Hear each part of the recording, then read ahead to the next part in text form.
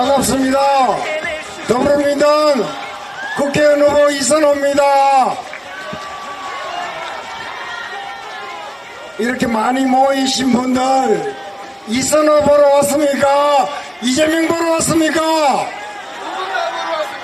이선호 보러 왔죠? 감사합니다. 제가 이재명보다 더 섰다 맞습니까? 그 소리는 안 들리네요. 하여튼 이렇게 많이 와주셔서 대단히 감사합니다. 2년 전 0.72%로 대통령 한 명 바뀌었을 뿐인데 우리나라가 이렇게 침몰하고 있습니다. 민생 경제 완전히 무너지고 있죠. 서민들 삶 완전히 침몰하고 있습니다. 선거운동할 때 이곳저곳 다녀보면 2년 전에 군수선거할 때보다 훨씬 더 나쁜 것 같습니다. IMF도 이만큼 어렵진 않았습니다. 지금 IMF 때와 코로나 때보다 훨씬 더 어려운 것 같습니다. 4월 10일은 뭐, 뭐하는 날이라고요? 정말 못 살겠다! 심판하자! 이런 이야기들이 절로 나옵니다. 대한민국이 왜 이렇게 추락했습니까? 대한민국이 경제대국 10대 경제대국에서 왜 이렇게 침몰하고 있습니까?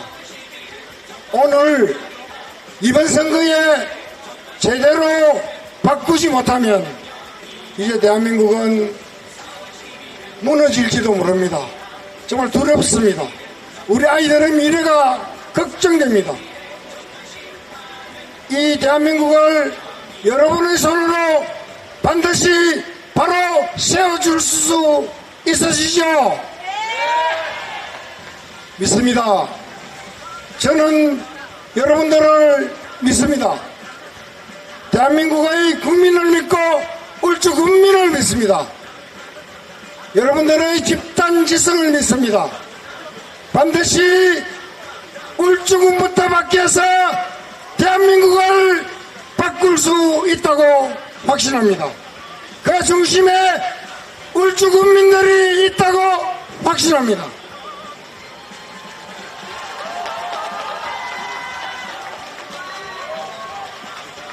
제가 울주 군수를 하면서 사실 몇 가지 했던 일들이 있는데요. 첫 번째,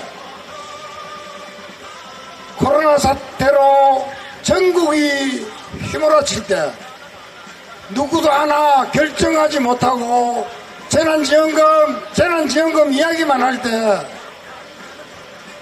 전국 최초로 10만원씩 재난지원금 누가 줬습니까? 맞습니다.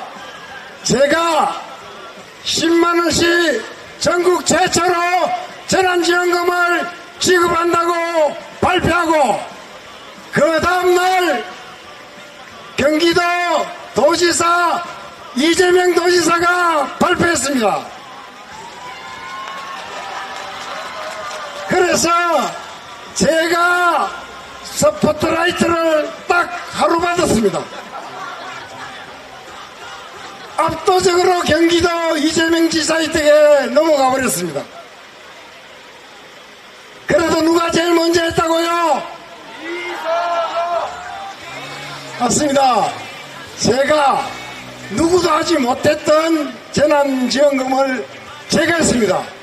제가 하고 전국 80여 개의 지자체가 따라왔습니다.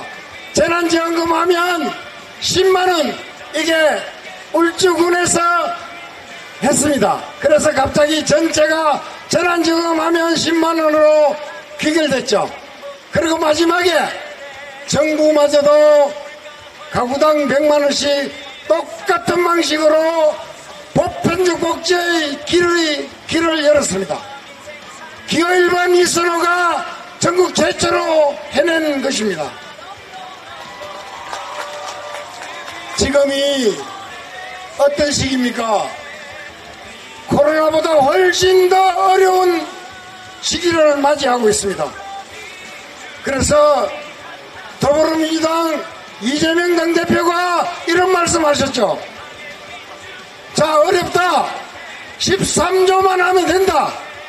가구당 4인, 가, 4인 가구 기준당 100만원씩 기본 지원금을 지원하면 정말 대한민국 이리 막혀 있는 경제를 뚫을 수 있는 유일한 길이다. 이렇게 말씀하셨죠. 맞습니다. 우리가 이번 총선에서 승리하면 국민 여러분들의 어려운 경제를 뚫기 위해서 기본소득 100만 원씩을 지급하는 그런 정책 펼치겠습니다. 서민을 살리고 대한민국 경제를 기호 1번 이선호가 여러분들과 함께 살리겠습니다.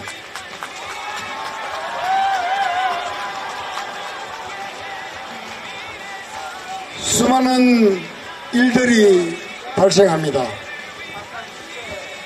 그런데 어떤 정당 비상대책위원장님 하는 말 중에 개 같은 소리를 하더라고요. 내가 하는 소리가 아닙니다. 개 같다고 이야기를 했거든요. 개 같은 이야기했던 사람이 입에서는 나오는 소리가 계속 개소리만 나옵니다. 지금 한동훈 비대위원장 말하는 거 보십시오. 그게 사람의 소리입니까?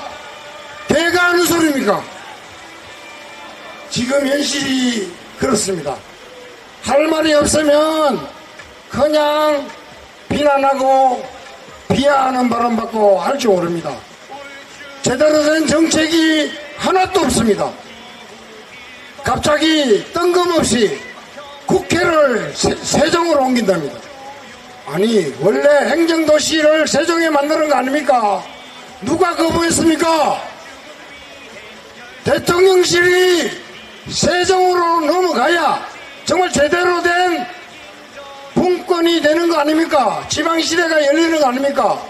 뜬금없이 국회를 국회를 세종으로 옮긴답니다. 아무 정, 아무 정책도 아무 생각도 없다는 겁니다. 지금 어대 정원도 마찬가지입니다. 우리 더불어민주당이 문재인 정권 때부터 그렇게 그렇게 의대 정원 높여야 된다고 이야기했습니다. 그런데 의대 정원 늘리되 지금 2천 명씩 늘리면 뭐합니까? 그 사람들이 취업할 병원이 없는데 그러면 병원 인프라를 먼저 구축하는 게 맞습니까? 아닙니까? 네. 맞습니다. 지금 이재명 대표님이 점점 다가온다고 말을 서서히 줄이랍니다. 슬슬 줄여서 오면 마치겠습니다. 자, 제 공약 중에 제일 큰 게 한 게 있습니다. 유니스테 의과대학 병원을 반드시 유치하겠다 이렇게 되어 있습니다. 울산이 안발 생육을 전국 1위입니다. 그리고 중증 산재, 산재 발생률 전국 1위입니다. 그런데 제대로 된 병원 하나 없습니다. 제대로 된 병원 있다면 울산대병원인데 저 동구 한 구석에 있습니다. 여기서 정말 응급 환자가 생기면 양산대 병원으로 가든지 해운대 백병으로 날아가는 게 더 빠릅니다. 그래서 제가 울 유니스트의 의과대학 병원을 유치했어 의과대 그러니까 마침 의대 정원을 확, 확대한다니까 윤석열 정권에서도 어, 어가 어가 여러분. 어전, 아니, 어전원을 설치해 준다고 했거든요. 그래서 어전원을 설치하면 거기에 걸맞는 부속병원이 필요하지 않습니까?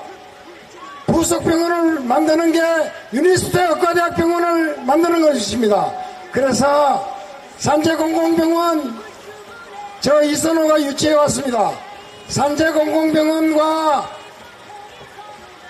유니스트 의과대학병원을 합작해서 울산 시민 여러분들의 건강권을 기호 1번 이선호가 지키겠습니다. 이제 마무리하겠습니다. 지금 이재명 당대표가 거의 도착했답니다. 마이크를 사회에게 넘기겠습니다.